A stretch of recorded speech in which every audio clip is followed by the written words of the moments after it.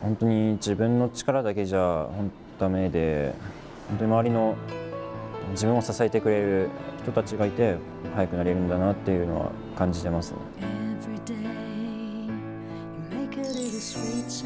アルプスピアホームプレゼンツ街の翼信州きらり人この番組はアルプスピアホームがお届けします。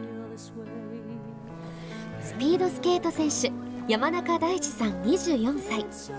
去年のソチオリンピックスピードスケート 1000m に出場しました。結果は36位。昨シーズン目標にしてたことが、まあ、オリンピック出場ってことで、まあ、その出場にすることが決まったところでかなり目標が達成されてしまった感はあって。山中さんはスケートが盛んな川上村出身スケートを始めたのは小学3年生の時でした。高校時代で才能が開花し全国でもトップクラスのスケーターに成長。そして夢の舞台への切符を手にしますが結果は惨敗。それから1年。山中さんは自らを奮い立たせます。支えてくれた人たちに恩返しを。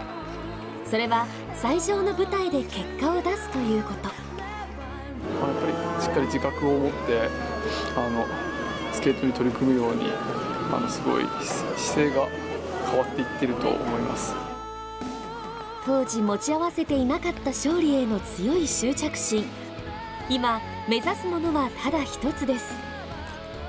次あのピョンチャンなんですけどメダル、まあ、特に金メダルを目指して自分を支えてくれる人たちに本当に感謝してやっていきたいです。